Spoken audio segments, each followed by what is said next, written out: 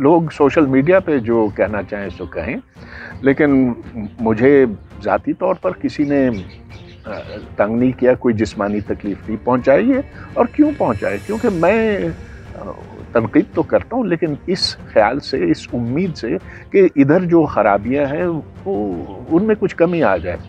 आखिर मैं इस मुल्क का शहरी हूँ, इधर ही पैदा हुआ, इधर ही मरूँगा।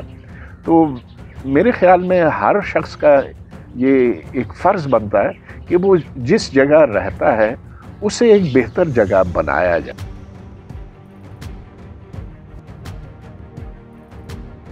अस्सलाम वालेकुम। अकमल शहजाद गुमन आपकी खिदमत में हाज़िर है। आज हम पाकिस्तान के एक ऐसे रोशन दमाग से आपकी मुलाकात करवा रहे हैं, जिनसे लोग बहुत प्यार भी करते हैं और बहुत इख्तलाफ भी करते हैं। ये उन लोगों में से हैं जो अपने दलाइल से और अपनी गुफ्तु से मुश्किल मौजूद पर भी गुफ्तु कर लेते हैं। तो अक्सर ये सवाल करता है, जी कौन है जो बोल सकता है? तो मैं उन्हें कहा करता हूँ कि डॉक्टर मुबारक अली हैं, डॉक्टर मेहदी हसन हैं और उनके पेशरो डॉक्टर परवेज़ हूद भाई हैं। गो कि उनका मौजू साइंस है, लेकिन वो समाजी मौजूद और जो दीगर मौजूद हैं, सियासी मौजूद उन पर भी यकसा महारत के साथ गुफ्तु करते हैं। और ये सिर्फ़ उनकी महारत नहीं लगती, उनके दिल की आवाज़ भी लगती है। चंद माह पहले ये हुआ कि हमारे दोस्त हैं शकील चौधरी साहब तो वो जो यहाँ प्रोग्रेसिव राइटर्स एसोसिएशन है, उसके सेक्रेटरी भी हैं तो उन्होंने अकेडमी ऑफ़ लेटर्स में डॉक्टर परवेज़ हूद भाई के एक लेक्चर का अहतमाम किया।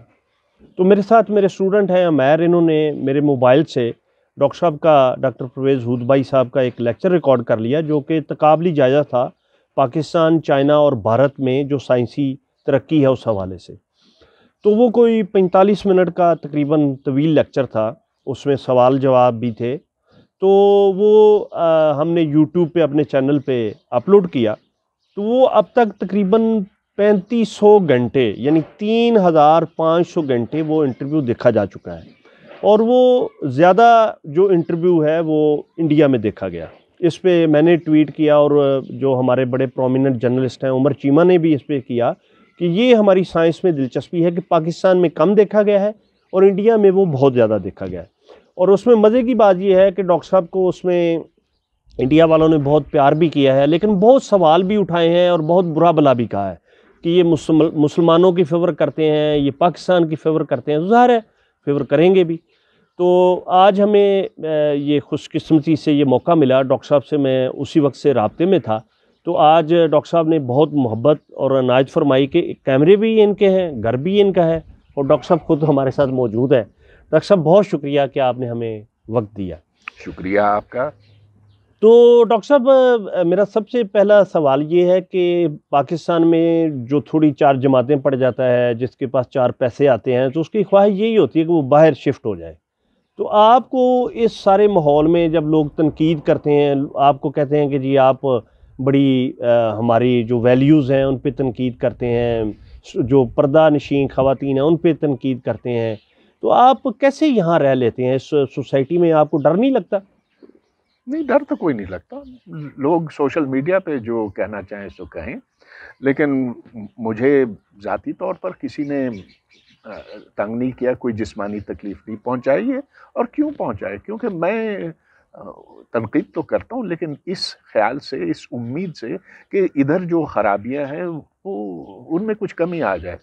आखिर मैं इस मुल्क का शहरी हूँ, इधर ही पैदा हुआ, इधर ही मरूँगा। तो मेरे ख्याल में हर शख्स का ये एक फ़र्ज़ बनता है कि वो जिस जगह रहता है, उसे एक बेहतर जगह बनाया जाए। तो आपने डॉक्टर साहब, आप बाहर भी चूँकि, पढ़ते रहे हैं, पढ़ाते भी हैं तो आपने कभी नहीं सोचा कि आप अपने ख़ानदान को लेकर बाहर कहीं यूरोप या अमेरिका में शिफ्ट हो जाए? नहीं, कभी नहीं सोचा, कभी नहीं सोचा। क्योंकि जब मैं यहाँ यहाँ से गया था 19 साल की उम्र में तो मैंने उसी वक्त ये इरादा किया था कि मुझे जल्द अज जल्द वापस पहुँचना है। क्यों पहुँचना है? इसलिए कि मुझे अपना घर याद आता है जब मैं बाहर जाता हूँ। और मैंने फिर अपनी पढ़ाई कुछ साल के बाद तर्क कर दी। वापस आ गया। छः महीने रहा और यहाँ फिर लोगों ने कहा कि जाओ, वालदेन ने कहा कि वापस जाओ। तो उस वापस जाने के बाद फिर मैंने अपनी डिग्रियाँ मुकम्मल की। फिर मैं पाकिस्तान आ गया। पहले कराची में नौकरी तलाश की, उधर किसी ने नहीं दी। कराची यूनिवर्सिटी गया तो उन्होंने कहा कि हमें तुम्हारी तो कोई ज़रूरत ही नहीं, तुम किस तरह से हमारे यहाँ पहुँचे हो? मैंने कहा, भाई, देखें, मेरे पास एमआईटी की डिग्रियाँ हैं, तीन डिग्रियाँ हैं, एक फ़िज़िक्स में, एक फ़िज़िक्स में मास्टर्स है, एक डबल ई इलेक्ट्रिकल इंजीनियरिंग में बैचलर्स है, मैथमेटिक्स में बैचलर्स है। कुछ तो मुझे आप दें, कहीं कोई छोटी मोटी नौकरी तो दे दें। उन्होंने कहा भाग जाओ यहाँ से? तो फिर मैं यहाँ इस्लामाबाद आया और सन तिहत्तर से मैं इधर ही हूँ। कायद अज़म यूनिवर्सिटी में मैंने पढ़ाया। फिर बारह साल पहले मैं रिटायर हुआ जब साठ की उम्र से मेरी उम्र ज़्यादा तजावज़ कर गई। तो बस अब जो थोड़ा वक्त रह गया, सो इधर ही गुजारूँगा। क्यों जाऊँ मैं बाहर? अच्छा डॉक्टर साहब बहत्तर साल की उम्र में माशाल्लाह आपके जज्बे भी और आप खुद फिजिकली भी बहुत फिट हैं। इस फिटनेस का क्या राज है? कोई राज नहीं है बस आ, आम खाना पीना बहुत ज़्यादा भी नहीं, नहीं हर मैं इत, अपने आप को नौजवान नहीं समझता काश के मैं होता।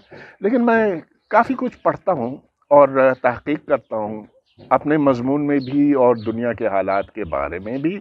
तो इस तरह से जहन ज़िंदा रहता है। जिसने दुनिया को समझना छोड़ दिया हो, वो फिर सो जाता, उसका दिमाग सो जाता और फिर वो खुद भी सो जाता है।